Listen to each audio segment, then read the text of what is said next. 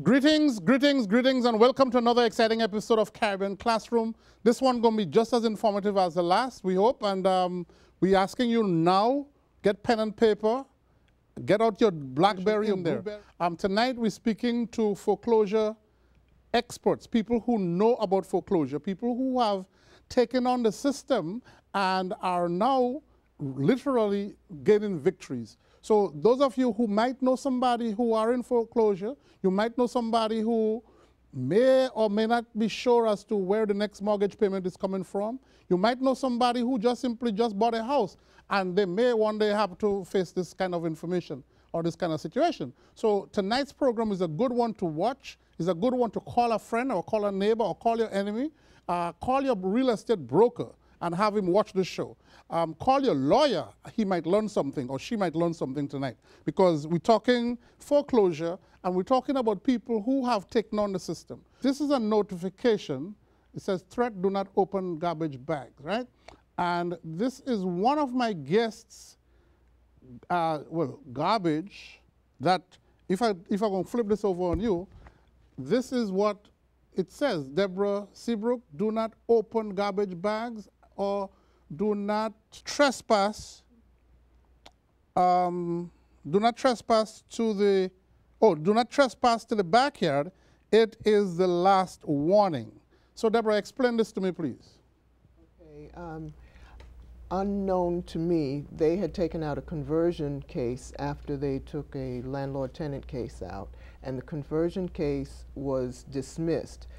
They um, took possession of my property without a warrant, and later I found out without court approval to take my personal belongings. So, in this bag here, these bags are your personal belongings? So um, I found the deed, the original deed to my house, um, mortgages, um, documents that dated back to the 1850s that um, my grandfather had collected in his library in various bags of garbage that they were throwing out. Mm. They called the police um, on a regular basis, and the police told them originally that once they put it out on the curb, it was public. Yeah, public, and that they couldn't do anything.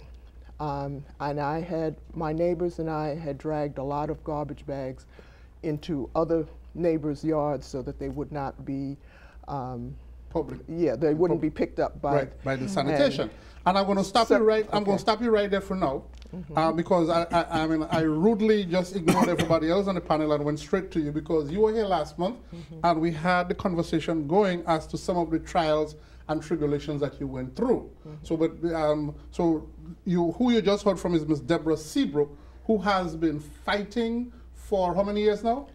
Uh, it's 19 years. 19 years fighting the system, trying to get your property back. Mm -hmm. Not very various properties. Various that's properties. The, that's, that's, the last one. This one, because yeah. you have properties here in, in, in I had another Queens? property in Queens in East Elmhurst. East Elmhurst and property, a, and a property in Pennsylvania, Pennsylvania. that were all tied to. They tie all of them together mm -hmm. and snatch them from you. Right. And next to Ms. Um, next to Ms. Deborah I mean, this name had me thrown. You, you threw me with the name Mr. Brandon, is because both names look like last names. it's Saron. Saron Brandon. Brandon.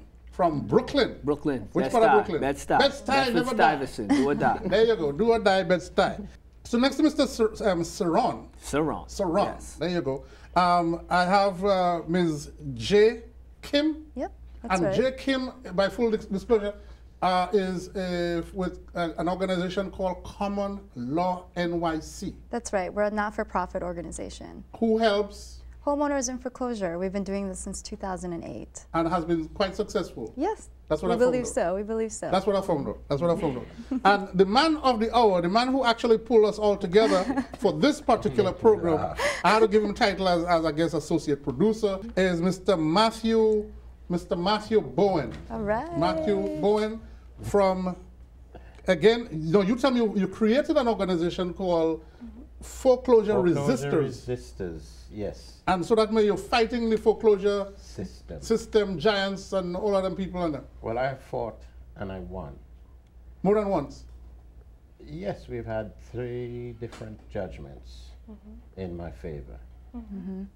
And um, I consider myself lucky because I, through common law, I got the education, the knowledge that was necessary in order to fight and win my case. And um, I made it a point that wherever there were homeowners in need of help and knowledge, I would try to reach them.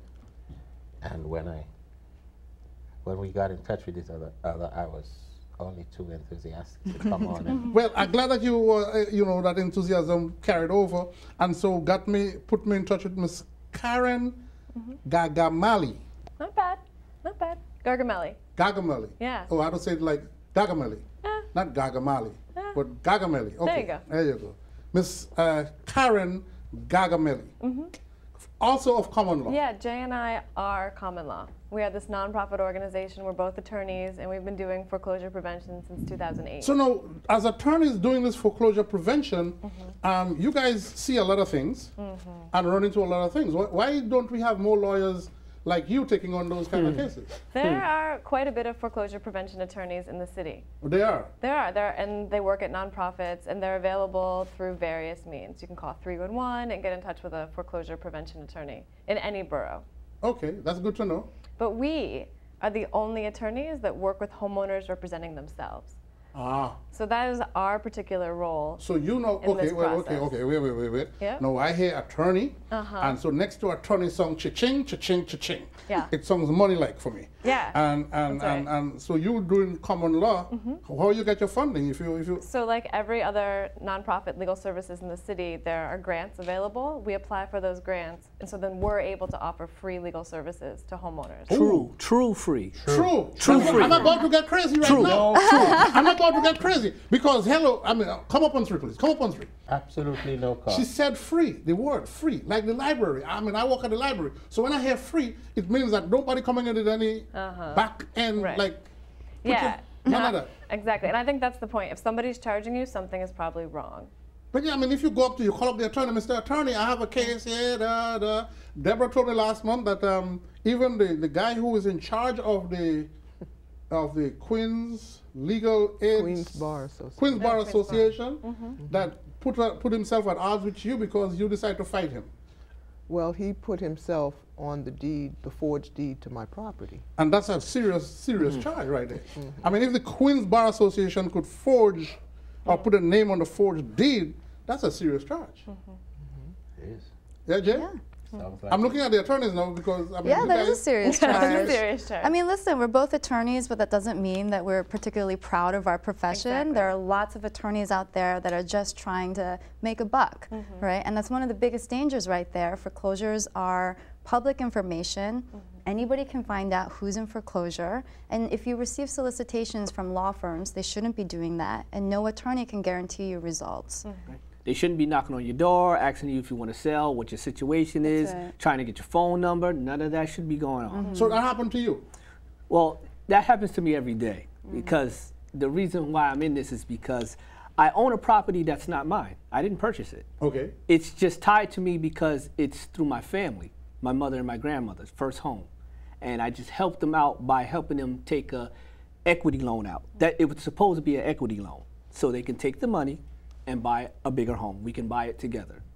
And somehow through faulty paperwork and what countrywide home loan services that got put out of business for these wrongful mm-hmm. doings put that I purchased the home. So now I own that home and only owe a little bit of money on the home I actually put into. You own that home through default. Not that you own that home, own that home. Right. Through, I mean, based on what they say you did, but you didn't own the home. No, I didn't purchase it. I didn't ask to purchase it. I didn't sign any paperwork saying I was purchasing it. But they just put my name, copy and paste. But no, that that that that property is now in foreclosure. Well, uh, it's not in foreclosure. I'm in a process with the help of these two young, lovely ladies here. I'm- coming back to the fighting it that it never got to that point because Okay. they explained to me and showed me uh, the situation about how do you go about. And one was an answer. You have a bank saying from nowhere that they own your property and you owe set amount of money, which I don't. And mm-hmm. I want to know where did you come up with this idea that I owe you something, mm-hmm. and how much? Because I've never signed any paperwork for it. So where's it at? But it's a certain way it needs to be said and put on paperwork, which is called an answer. That's right. Oh, that's So- legal language. Yes. Yeah, and so one of the things that I think we wanted to really emphasize tonight is that you have legal rights and you should be asserting them. So if you're on the phone with the bank and you are having long, lengthy conversations and you're faxing paperwork, just because you're in communication with a bank or their servicer doesn't mean that you're asserting your rights. In fact, the only way that you can protect yourself is appearing in court. Yes. And just because you are going to court doesn't even mean that you've asserted your rights. All of your rights need to be in an answer. And so one of the things that we do at the clinic, one of the things that we try to tell other people when we're meeting them and talking to them is all of your legal rights are contained in an answer. All of your defenses, whether they didn't serve you Now, who providing the answer? The, the, the, the, the bank? no, you No. are responding. It's your answer. Homeowners should be sitting, submitting answers, which To is the to court. the court, right? To Exactly. summons and complaints served by banks. Uh-huh. So And most people ignore that. Exactly. And then there's a default judgment That's right. if you don't show up in court. and then that's where you lose your property. But I know Deborah, Deborah has a few things to say. Let me ask you this. I'm looking at both of you, lawyers, attorneys, common law. How big is your staff? you're looking at all of common law. It's the two of us. It's the two of us. Wait, you've been doing this from when again? 2008. 2008. I'm not good at the math. Today's 2013. That's Five right. years. eh? Five, Five years. years. That's five years. so for five years, you you're producing results, yes? Uh-huh. And people are satisfied, and people are staying in their homes. Yeah. How are you able to do this with just two people? Well, we have a weekly legal clinic, and like Karen said, the bulk of our work is supporting homeowners who are representing themselves. So we have information, we have knowledge as attorneys, and our job as common law is to share that information. Like Mr. Bowen loves to say, knowledge is power. And you hear, you know, Saran and Matthew speak about the legal issues as fluently as Karen and I do, and that's part of our work, right? So you're training the homeowner to become uh, yes. Call it experts at their own. That's, That's right. right. Because they know their cases better than anyone, Mm-hmm. right? Karen and I have had ca- uh, clients, represented homeowners, Mm-hmm. um, and they, you know, homeowners are going through this every single day, right? And our responsibility is to make sure that homeowners understand where they are and are able to speak about it freely. And we've definitely carried on that tradition with our legal clinic on Now Tuesday you are nights. located in Manhattan, and Brooklyn, and Queensway. Our legal clinic is in Manhattan. It's Tuesday nights from 6:30 to 8:30. It's free. Oh, ho, ho, ho, ho, ho. Wait, you're, going, you- you're throwing the information out quickly there. Sure. Tuesday nights, 6:30 to 8:30. okay. And you can call our office at 212-213-3920 to schedule an appointment. 3920. 20. And the Two- 212 213 uh-huh. 3920. 3920. The That's first- common law That's, That's right. office. Is there a website? commonlawnyc.org. You see, um, some of us, we kind of slow. Mm-hmm. and, you know, sometimes the pen stop writing. Sure. Common law, L-A-W, one word, mm-hmm. NYC. nyc.org. that org, mm-hmm. right? The- and, and so then somebody logging onto that website now can pull up information as to your services. That's right. That's right. and again, you're emphasizing that the services are free. That's right. Yep, and it's for homeowners who are representing themselves and want information and education about this process. I know your clinic meets every Tuesday night. That's right. Where? In Manhattan. In Manhattan. Mm-hmm. So they can call and get the directions Yeah, and locations. exactly. Right? Exactly. No. I just want to add. Yes, sir. It only costs you your fare to get there, whether you're driving or you're taking public transportation. That's all it costs you. And I also want to add that, honestly, people, you know what's going on in your life with this major situation. This is a major purchase. If, because you understand how my situation arrived, you purchased a home. If you know that something is wrong, this bank, this real estate company has done something. Maybe you know what it is, maybe you don't. You're getting pieces. Acknowledge that you have a situation. Acknowledge the problem. Don't worry about your neighbor down the block, how you want to look. Don't worry about your pride. We all have that. But the most important thing is they take care of this situation as soon and as fast as possible. Don't wait, don't ignore, don't listen to hearsay go about what you need to go about to handle this in a prompt way. And Fight. efficient. Let's go for efficient. Efficient, yes. Because Jay and